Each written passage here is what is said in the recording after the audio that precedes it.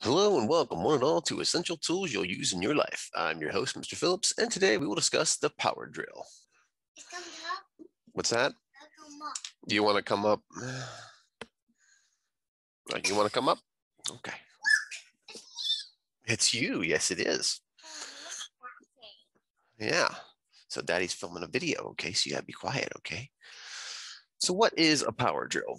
A power drill is an electric motor that rotates a replaceable drill bit to make a hole in wood, plastic, or metal, or any kind of material. Alternately, a screwdriver bit can be installed to turn screws. The parts of a drill include the handle, an on-off trigger with a safety latch, bless you, a reversible switch for changing the rotation direction of the drill bit, a torque adjustment, and the chuck that holds the drill bit in place. Corded drills are powered by a 110 volt electrical cord inserted into an electrical receptacle outlet. And cordless drills are powered by a battery in the drill's handle. This information I found from is cited from howstuffworks.com. So what are the origins of the electric drill? So the invention of the electric drill and patent came in 1889 in Australia from Arthur James Arnot and William Blanch Brain, excuse me. This was not the handheld drill we use today, but a big oversized drill used for mining. The first portable handheld drill came in 1895, excuse me, by Willem and Carl Fane of Germany. This was a much larger drill that we know that required two hands to hold and operate. It wasn't until the 1910s when S. Duncan Black and Alonzo Decker, Black and Decker, developed the first version of the electric hand drill we know today. All right, so now the question is, so now the question is, when am I ever going to use a power drill? Well, the short answer is when to use a power drill, especially over any type of hand tool, as simply is always. A power drill is great for pre-drilling holes for nails and screws, especially when driving screws and nails into a hard, knotty material. I always, I always think it best when I'm building a woodworking project when you fasten together with screws to have two drills, one drill to pre-drill your holes and the other drill to drive your screws in to your project. Now, yes, you can always remove and replace the bits each time, but that gets to be very time consuming and quite tedious. A drill will also come in handy when you want to hang objects on the wall. So you would use your drill to pre-drill a hole into the wall for your screw, and, and then you would use the drill to then drive your screw into the wall. If you're drilling into a wall and you hit a wall stud, you can simply just drive the screw into that hole. To know if you're driving into a stud, you'll need a stud finder, which will be our next video. If you happen to drive through the wall and you don't hit a, a stud, you will need a wall anchor to drive and hold your screw in place. This will help strengthen whatever you're hanging. Power drills with a cord, you most likely will need an extension cord so you can reach an outlet. Cordless drills, it's nice to have at least two batteries because at some point, your battery is always dead if you forget to charge them. But with the price of batteries that are so ridiculously high, it's just simply cheaper to buy another drill.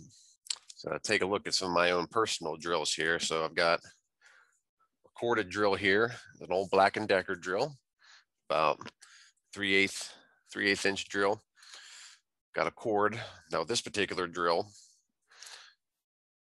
has a chuck key. If I can get it off here has a chuck key that I would use. I would place this down into this hole here, and I would use this to remove whatever bit I'm using. I had this drill for about a year or so before, you know, when I first had this drill, I couldn't find the switch to reverse the chuck. So I then found out that it was on the back of this. We ended up finding this drill in a, gentleman left when his mother died, left his uh, mother's house to our uh, church, and this drill was found in the basement. So, my so my dad brought it home. Nobody claimed it, so he brought it home, and then I used it, took it to work with me, and now I have it at home now. So this was the drill that I used for longest time, with a you know corded drill, nice and power. I like to use this drill most of the time when I'm pre-drilling holes because it's just a pain in the butt to pop this thing out all the time. My other drill, my other drill here is a Ryobi, reconstructed Ryobi, battery powered. Love that smell. Mm, it's reconstructed. I managed to get this one from a, a previous relationship. Uh, their previous girlfriend's parents bought this for me. If you see this, you know who you are. Thank you again. I love this tool. Love this drill. My pride and joy. Use this drill a lot for when I'm hanging things around the house, like that clock in the back there. You can see pre-drilled a hole, use the drill, put a uh, screw in the wall, and I was able to put that up.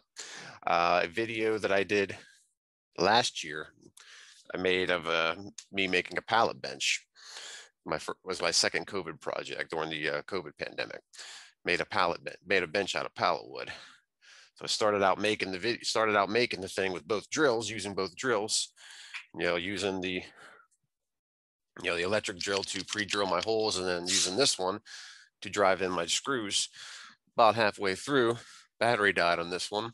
So I had to put the battery on. Then I had to use the rest of the project by using the electric drill.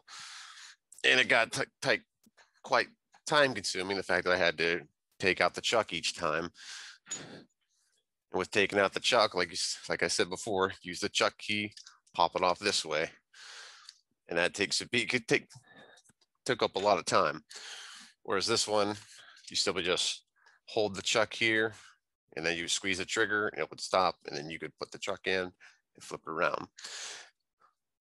Definitely use these a lot. Now, uh, do you necessarily need a drill in your household? Not really. I mean, as long as you have a screwdriver, you can still drive things. But what this will do, or it will definitely, is a nice luxury because you will not be tiring your hands out. So just simple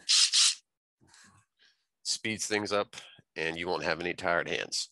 So I love those drills. I use them a lot in my life, just in my home and not in, not just doing woodworking. Well, that is all for this episode. Join me next time we discuss the stud finder. See you later, alligators.